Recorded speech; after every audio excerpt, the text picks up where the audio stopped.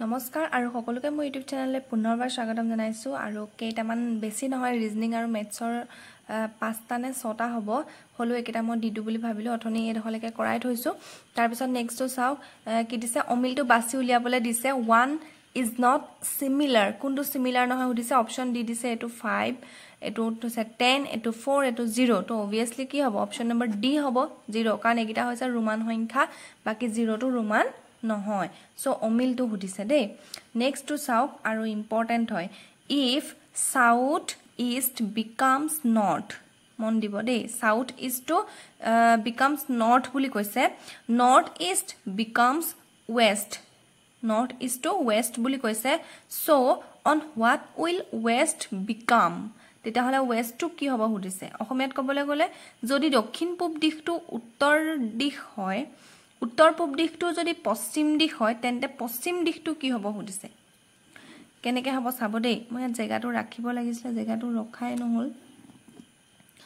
আমি ফাৰ্ষ্টে কৈ ল'ব লাগিব কি মোৰ জেগাটো সৰুকৈ ৰখা হ'ল মোৰ। East west north south that means পূব এইটো হৈছে পশ্চিম উত্তৰ এইটো হৈছে দক্ষিণ। হয় নহয়? এতিয়া আমাক দিছে কি বুলি if south east becomes north south east কোনটো হ'ব? এইটো চাউথ ইষ্ট মানে এইডোখৰ কি বুলি কৈছে? বেলেগ পেইন এটা লৈ লওঁ। এইডোখৰ কি বুলি কৈছে? চাউথ ইষ্টটো নৰ্থ বুলি কৈছে। তেতিয়াহ'লে এইডোখৰ কি হ'ব? নৰ্থ বুলি কৈছে। ঠিক আছে। তাৰপৰা north east becomes west north east north east কোনটো? নৰ্থ ইষ্ট এইটো? এইটো কি বুলি কৈছে? ৱেষ্ট বুলি কৈছে মানে পশ্চিম বুলি কৈছে। দেই মন দিব। এইটো নৰ্থ চাউথ ইষ্ট যিটো পূব আৰু দক্ষিণ সেই দিশটো উত্তৰ দিশ বুলি কৈছে। আৰু যিটো উত্তৰ আৰু পূব দিশ আছে তাক ৱেষ্ট বুলি কৈছে পশ্চিম দিশ বুলি কৈছে। তেন্তে পশ্চিম দিশটো কি হ'ব? কি হ'ল গম পাইছেনে কথাটো? মানে আমি যিটো নৰ্মেল ইষ্ট ৱেষ্ট নৰ্থ চাউথটো পাতি ল'লে নহয় তাৰপৰা তাত কোৱা মতে আপোনালোকে এনেকৈ এনেকৈ কৰি ল'লে। তেতিয়া কি হ'ল গম পাইছেনে এই নৰ্থটো যিফালে আহিলে তাৰ পোনে পোনে কি হ'ব বাৰু? এইফালে এইফালে কি আহিব বাৰু? নৰ্থৰ সদায় নৰ্থৰ পোনে পোনে কি থাকে? চাউথ থাকে ৱেষ্টৰ পোনে পোনে কি থাকে? এইফালে তেতিয়াহ'লে কি হ'ব? ৱেষ্টৰ পোনে পোনে হ'ব ইষ্ট হ'ব হয়নে এইটো পাতিয়ে ল'ব। মানে বহীখন যে ওলোটা কৰি দিব লাগিব আপোনালোকে। গম পাইছেনে বস্তুটো? এই যিটো নৰ্থ পালোঁ তাৰ পোনে পোনে মই কি পাতি দিলোঁ জানেনে? চাউথটো পাতি লৈছোঁ। এতিয়া সুধিছে কি পশ্চিম দিশটো কি হ'ব সুধিছে? ৱেষ্ট দিশ ৱেষ্টটো কি হ'ব সুধিছে? ৱেষ্ট তেতিয়াহ'লে কি হ'ব? এতিয়া চাম এতিয়া আমি ৱেষ্টটো কি হ'ব? এইটো ৱেষ্ট নহয় জানো? ই কাৰ মাজত সোমাই গ'ল চাওক মই যেতিয়া চাউথ আৰু ইষ্টটো পাতি দিলোঁ ৱেষ্টৰ পোনে পোনে ইষ্ট এইটো মই পাতি ল'লোঁ আৰু এই নৰ্থটো যিটো পালোঁ তাৰ পোনে পোনে চাউথটো পাতি দিলোঁ। লগে লগে ৱেষ্টটো কাৰ মাজলৈ গুচি আহিলে? এই চাউথ আৰু ইষ্টৰ মাজলৈ।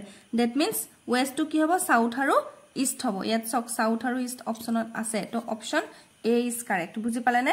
তাৰমানে আপোনাৰ কথাটো ওলোটাই দিলে। আমি নে এইটো উত্তৰ এইটো দক্ষিণ এইফালে পূব এইফালে পশ্চিম পাওঁ নাই? আমাক বস্তুটো ওলোটাই দিলে। এইফালে নৰ্থটো এইফালে কৰি দিলে। এতিয়া নৰ্থৰ পোনে পোনে চাউথ হ'ব বহীখন ওলটাই দিব। এইফালে ৱেষ্টৰ পোনে পোনে ইষ্ট হ'ব। বুজি পালেনে কথাটো? আপোনাক মানে ওলটাই দিছে মানে পকাই দিছে বস্তুটো। বুজি পালে? আৰু এবাৰ ভালকৈ চাই পেলাই নিজে কৰি ল'ব পাৰি যাব। If the ratio of calcium, carbon and oxygen is in chalk pencil is 10 is to 3 is to 12, then what is the percentage of carbon in the chalk pencil? এনেকুৱা কুৱেশ্যন আগতে কৰাইছোঁ। অসমীয়াটো কৈ দিছোঁ। যদি এডাল চক পেঞ্চিলত কেলচিয়াম কাৰ্বন আৰু অ'টো দিছোঁ দেই অক্সিজেনৰ অনুপাত দহ অনুপাত তিনি অনুপাত বাৰ হয় তেন্তে চক পেঞ্চিলডালত থকা কাৰ্বনৰ শতাংশ কিমান? মানে কাৰ্বনৰ পাৰ্চেণ্টেজ কিমান সুধিছে? ইজি মই আগতে কৈছোঁ নহয় অনুপাতৰ যদি আপোনালোকক এনেকুৱা দিয়ে আমি ডাইৰেক্ট কি কৰিম? যিটো অনুপাত দিয়া থাকে তাহাঁতক আমি কি কৰি দিম? প্লাছ কৰি দিম। ইজুকেলটো কিমান পাম? এইটো ওৱান দেই। Ten plus twelve plus ten equal to twenty two twenty two plus three twenty five হ'লনে? মুঠটো আমি আগে উলিয়াই ল'ব লাগে। মই কি বুলি কৈছিলোঁ? মুঠটো সদায় তলত বহুৱাম আৰু কাৰ্বনৰ উলিয়াবলৈ দিছে ন? ইয়াত দিছে নহয়। এইটো কাৰ্বনৰ মানটো দিছে নে নাই? কাৰ্বনৰ দিছে। চ' কাৰ্বন কোনটো আছিলে? কেলচিয়াম কাৰ্বন আৰু অক্সিজেন। কাৰ্বনটো মাজত আছে। তাৰমানে থ্ৰীটো কাৰ্বন। তাৰমানে থ্ৰীটো কি হয়? তেতিয়াহ'লে কাৰ্বন। দেখিছে নহয়? তো মুঠটো অনুপাতকেইটা যোগ কৰি পালোঁ কি? পঁচিছ টুৱেণ্টি ফাইভ টুৱেণ্টি ফাইভটো তলত বহাম।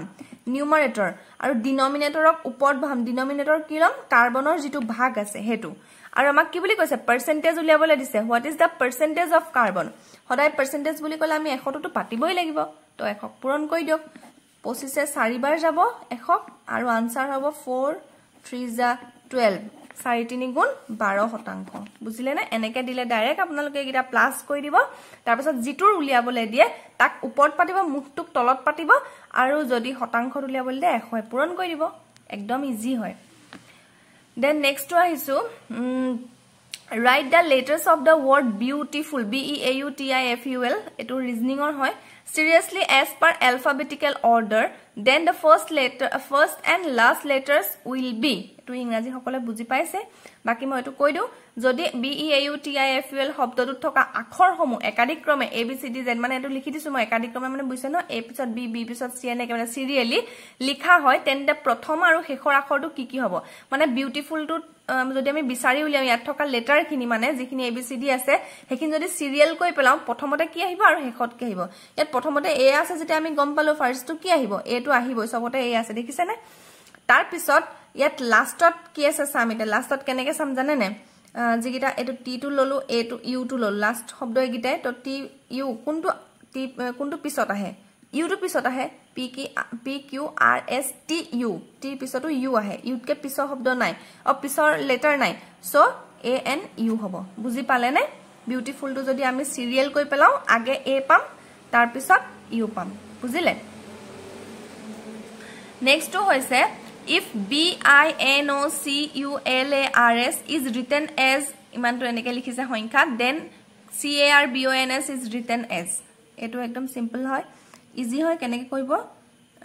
বি আই এন এইকেইটাত মানে ইয়াৰ ইহঁতৰ এইকেইটা দিয়া আছে। বিৰ কাৰণে থ্ৰী আই কাৰণে অ' জিৰ' এনৰ কাৰণে ফাইভ এনেকে দিয়া আছে। চ' ডাইৰেক্ট মই এইটো চি এ আৰ এইটো পাতি লওঁ। C A R B O' N S carbons হ'ল। এতিয়া চি কাৰণে কি দিয়া আছে? ওৱান টু থ্ৰী আপোনালোকে এইটো পাতি ল'ব দেই তেতিয়া বেছি ভাল হ'ব মই পাতিয়ে দিছোঁ। B I N O' C U L A R S আৰু সদায় ৰিজনিং এনেকুৱাবোৰ কৰিলে ফাক ফাককৈ পাতিব মোৰ বেছি লেপা টেপাহে হৈছে। Three zero' five one six nine four eight two seven এতিয়া চাম চিৰ কাৰণে কি? One two three four five one two three four five চিৰ কাৰণে হৈছে ছিক্স ছিক্স পাতিলোঁ এৰ কাৰণে কি চাম?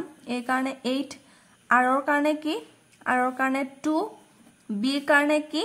থ্ৰী অ'ৰ কাৰণে ওৱান এনৰ কাৰণে ফাইভ এছৰ কাৰণে ছেভেন এতিয়া এইটো ক'ত আছে? চাই ল'ম। Six eight two three one five seven option A is correct এনেকৈ হ'লে সদায় ফাক ফাককৈ পাতিব দেই। আপোনালোকে অংক আৰু ৰিজনিং কৰোঁতে সদায় ফাক ফাককৈ পাতিব। তেতিয়াহে তাৰমানে আপোনালোকৰ মানে অকণমান আঁতৰাই আঁতৰাই মানে এইবিলাক ডিজিটবিলাক লিখিব তেতিয়া সুবিধা হয়। নহ'লে যোগ বিয়োগবোৰ পূৰণবোৰ ভুল হৈ যায় পটককেনে মই আপোনালোকক কেতিয়াবা কিবা এটা বুজাই থাকোঁতে মানে কওঁতো কোৱাটো চাগে ঠিকেই কওঁ ন? কিন্তু ইয়াত দিওঁতে মানে মই কেতিয়াবা খেলি মেলি কৰি পাওঁ মানে সেয়াই মানে। অকণমান লৰালৰি কৰিলে তেনেকুৱা হয়েই। হ'ল এইটো বুজি পালে। নেক্সটটো হৈছে চাওক one litre of water at thirty degree Celsius is mixed with one litre of water at fifty degree Celsius the temperature of the mixture will be অসমীয়াত ক'বলৈ গ'লে ত্ৰিছ ডিগ্ৰী উষ্ণতাত থকা এক লিটাৰ পানী পঞ্চাছ ডিগ্ৰী উষ্ণতাত থকা এক লিটাৰ। ৰটো নিলিখিলোৱে। লিটাৰ পানীৰ সৈতে মিহলা মিহলা মিহলোৱা হ'ল। এতিয়া মিশ্ৰিত পানীখিনিৰ উষ্ণতা হ'ব। কিমান হ'ব সুধিছে? এইটি ডিগ্ৰী হ'ব নেকি? নহয়।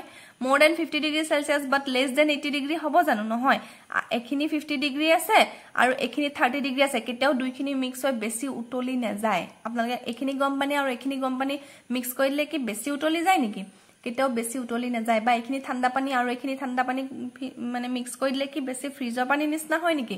কেতিয়াও নহয়। পানীখিনি যিটো মানে উষ্ণতা থাকিব যিটো টেম্পাৰেচাৰ থাকিব এই যিকেইটা মান সিহঁতৰ যিটো আগৰ মান তাহাঁতৰ মাজতে থাকিব। That means between thirty degree and fifty degree Celsius এইটো মনত ৰাখি থ'ব।